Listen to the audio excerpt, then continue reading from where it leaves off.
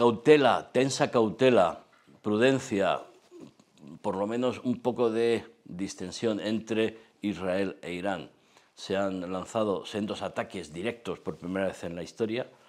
y ahora mismo lo que estamos viviendo es una situación donde la chispa puede surgir en cualquier momento. Han calibrado sus fuerzas, se han enseñado un poquito de lo que son capaz cada uno, seguro que esconden más de una carta, pero lo que eso significa es una inestabilidad, una incertidumbre en la región que crea y afecta a lo que son las relaciones internacionales. En cualquier caso,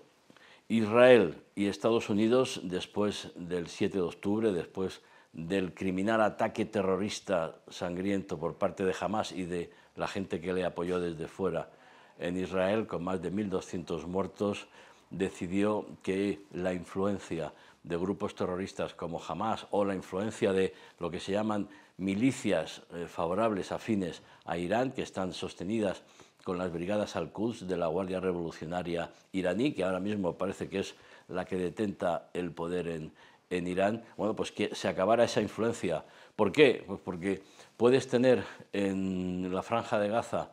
a millones, dos millones de palestinos bajo la dictadura férrea de este grupo, de Hamas, desde 2007. O tienes también influencia de, de Hamas en Cisjordania. Si vamos al Líbano, la influencia es de un grupo que tiene varias ramificaciones,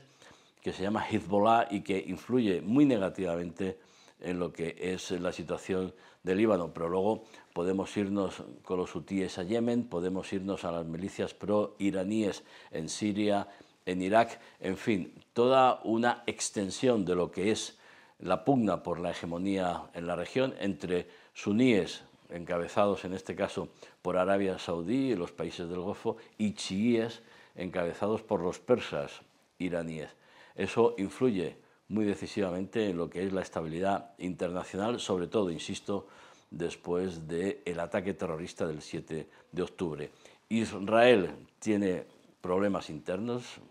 contestación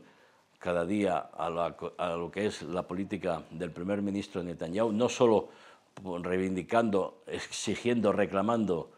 que puedan ser liberados los rehenes que todavía están en manos de, Hamas, también por esa reforma judicial que había dividido al país. Y estamos eh, temiendo, esperando una nueva acción militar, en este caso en Rafah, en la, en la ciudad del sur de la Franja de Gaza, donde hay más de un millón de, de personas que se han ido desde el norte, el, el, centro, se han ido concentrando en esa, en esa ciudad. Bueno,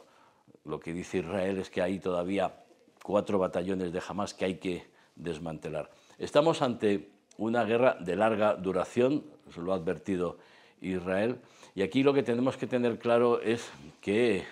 bueno, más allá de la necesidad imperiosa de preservar la vida de, civiles, eso está clarísimo para todo el mundo, hay que tener en cuenta que los terroristas de Hamas utilizan a los civiles como escudos humanos, pero que aquí el verdadero enemigo es el, el extremismo que quieren sembrar los, los ayatolas, el régimen de los ayatolas, para controlar la región, apoyados en los hermanos musulmanes, en los radicales islamistas y en esos grupos terroristas que también están pululando por el Sahel. Cuidado, porque nuestro patio de atrás en el Sahel también tiene influencia iraní con drones, con misiles en manos del Frente Polisario, respaldado por Argelia, que en, semanas anteriores han utilizado para atacar la ciudad del Sáhara, la ciudad de Esmara. Con lo cual, toda esta cuestión nos afecta muy directamente. Vamos a ver si esa tensa cautela que está reinando en estos momentos se puede mantener, teniendo en cuenta que Estados Unidos en campaña electoral está intentando imponer